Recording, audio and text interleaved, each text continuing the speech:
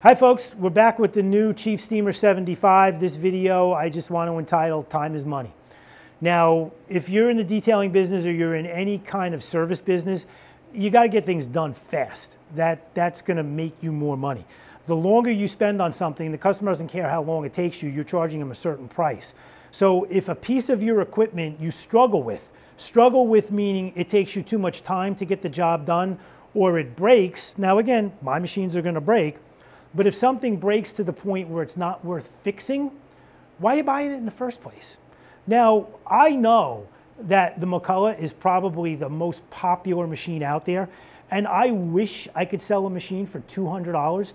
And I've seen that machine, I've had that machine in my hands.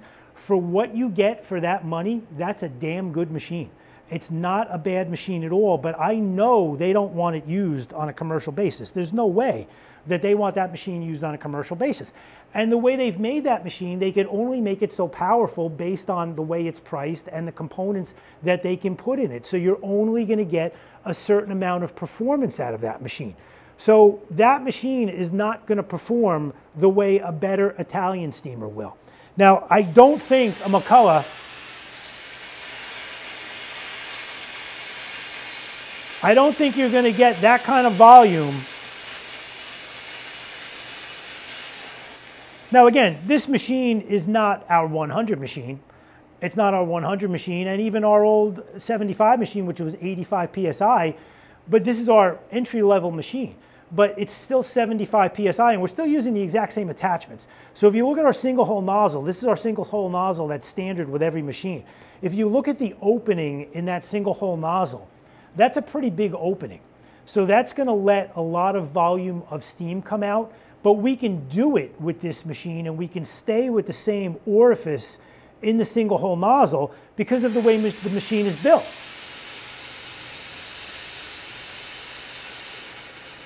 So you're still going to get really, really good performance out of this machine. Now, we also want to do the math.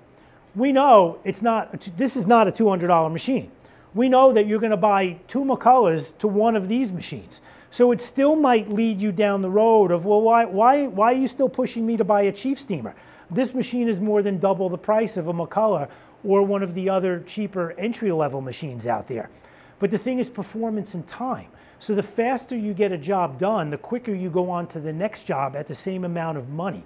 Why wouldn't you want to finish a job 10 or 20 minutes faster, go on to the next job 10 or 20 minutes faster, go on to the third job 10 or 20 minutes faster when you can save a couple of hours in a day, get another interior done for the day? How much more money is that going to make you? How much more money is that going to save you? And how fast are you going to pay off a machine like this by spending the extra money? So yes, I am asking you to spend more money on my new Chief 75 compared to a McCulloch, which I realize is a $200 machine, and I can't come close to that. I can't come close to $200, but it's my cheapest machine yet, still at an extremely high quality and easy serviceability. Look at our other video that we did on how easy this machine is to service. And again, I stock every single part. I could build a machine here if I needed to. So we're never going to be short on parts. And if you ever need a part, my thing is tell me what's going on with the machine. I 95, more than 95% of the time diagnose it correctly over the phone and get you out the parts so you can fix it.